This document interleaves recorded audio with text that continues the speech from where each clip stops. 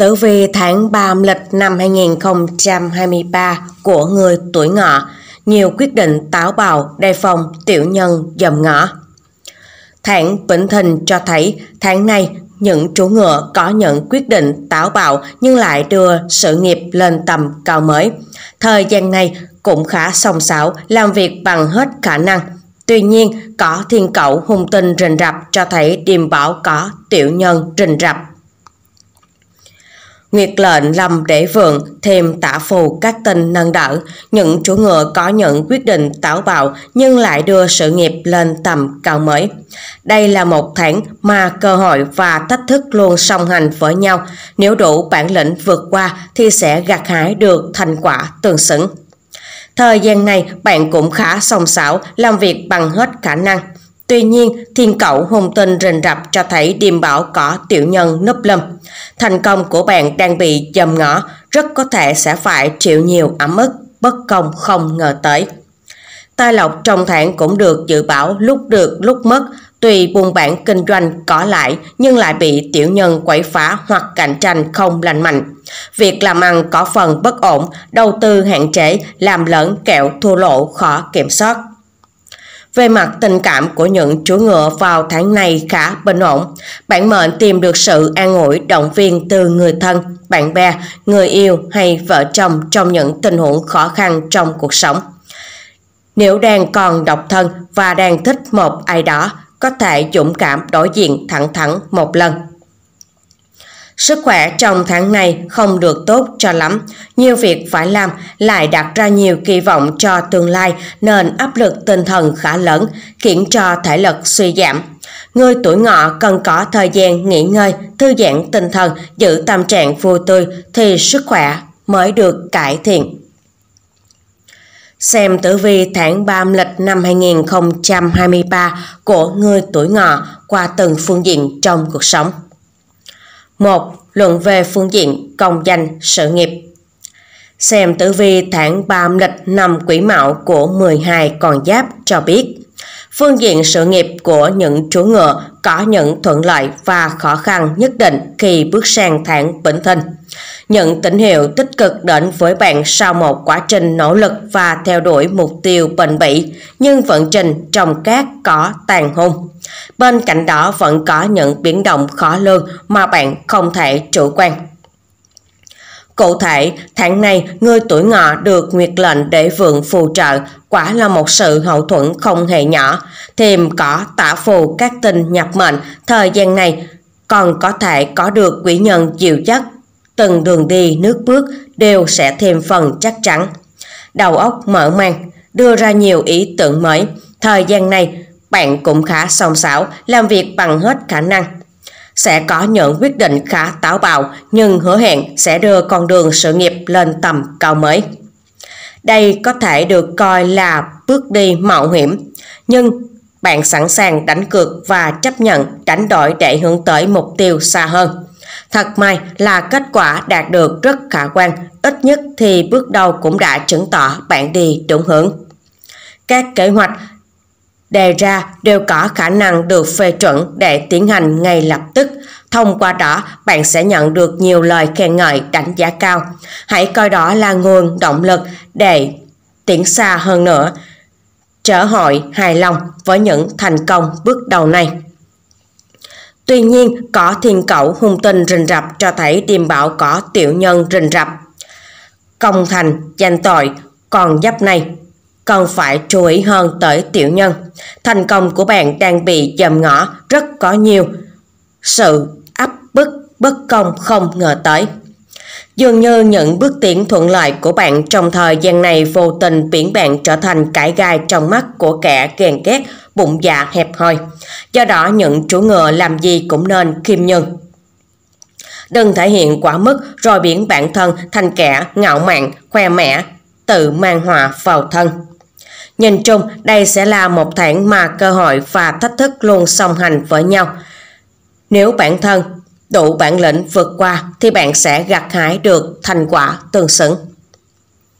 2. Luận về phương diện tài chính Tài chính trong tháng này của người tuổi ngọ gặp những khó khăn nhất định. Dù vậy nhưng cơ hội làm giàu bạn vẫn có, nhưng nguy cơ mất tiền, mất của cũng luôn hiện hữu. Tháng này do bị kiếp tài cản trở, tiền có được nhưng cũng mất nhiều. Lại thêm thiên cẩu đe dọa, tiểu nhân thường xuyên quậy phá hoặc dở trò cạnh tranh không lành mạnh. Nguyệt lệnh để vượng xuất hiện giúp cho việc buôn bán có lãi thậm chí có nhiều vào thời điểm này. Tuy nhiên cũng đừng vì thế mà có phần suy nghĩ quá mức lý tưởng hóa hay viễn vong. Nhất là khi thấy người khác kiếm tiền ngon ăn, bạn ngay lập tức nhảy vào làm theo. Thiếu thực tế từ suy nghĩ cho đến cách làm nên khả năng thất bại là khá cao. Làm giàu chưa bao giờ là việc dễ dàng, bạn nên thay đổi suy nghĩ này. Hãy cố gắng trang bị thêm kiến thức cho mình, đặc biệt là trong đầu tư kinh doanh. Kinh nghiệm xương máu sẽ giúp bạn rơi vào tình trạng thua lỗ khó kiểm soát. Ngoài ra, người tuổi ngọ cũng cần phải đề phòng kẹo dính dạng tới kiện cáo pháp luật trong khoảng thời gian này, đừng tham gia những trò đỏ đen. Và đặc biệt, đừng tham tham lam, lọc lừa hay tìm cách lách luật, khả năng bị tổm là khá lớn. Lúc này, người thì trong vòng lao lý mà tiền bạc có kiếm được bao nhiêu cũng bằng không. 3. Luận về phương diện tình cảm gia đạo Nhờ ngũ hành tương sinh độ mệnh, chuyện tình cảm của những chú ngựa trong tháng Bính Thìn khá bình ổn. Đặc biệt những mối quan hệ tình cảm thẩm thiết sẽ càng được nâng cao ở thời điểm này. Khi bản mệnh tìm được sự an ủi động viên từ người thân, bạn bè, người yêu hay vợ chồng trong những tình huống khó khăn trong cuộc sống. Các cặp đôi không còn cãi vã nhiều như trước, hai bạn cũng đang có những dự tính xa hơn cho tương lai. Nếu cảm thấy tình cảm đo lửa có phần nguội lạnh, bạn có thể tìm cách làm mới bằng những chuyến du lịch ngắn ngày, tạm rời xa những bộn bề cuộc sống để cả hai có thêm thời gian bên nhau và vỗ về cảm xúc yêu đương. Nguyệt lệnh làm đất để vượng rất có lợi cho người độc thân. Sức quyến rũ tự thân của bạn được bùng tỏa trong tháng này giúp bạn trở nên nổi bật trong mắt người khác giới. Nếu đang thích một ai đó, bạn có thể dũng cảm, đối diện thẳng thắn một lần. Còn nếu mới bước chân vào một mối quan hệ, bạn nên cho cả hai có thêm khoảng thời gian để tìm hiểu về đối phương. Việc đốt trải giai đoạn sẽ khiến cho những ấn tượng tốt ban đầu dễ dàng tan biến thành mây khói sau sự nồng nhiệt ấy qua đi. Hãy cứ để cảm xúc, tình cảm của mình diễn ra tự nhiên. 4. Luận về phương diện sức khỏe Sức khỏe của những chú ngựa trong tháng này dù không quá xấu nhưng cũng không được tốt cho lắm. Chủ yếu do bạn xuất hiện tình trạng lao lực bởi công việc quá bận rộn. Tháng này có nhiều việc phải làm, lại đặt nhiều kỳ vọng cho tương lai nên áp lực tinh thần của những chú ngựa khá lớn, khiến cho thể lực suy giảm.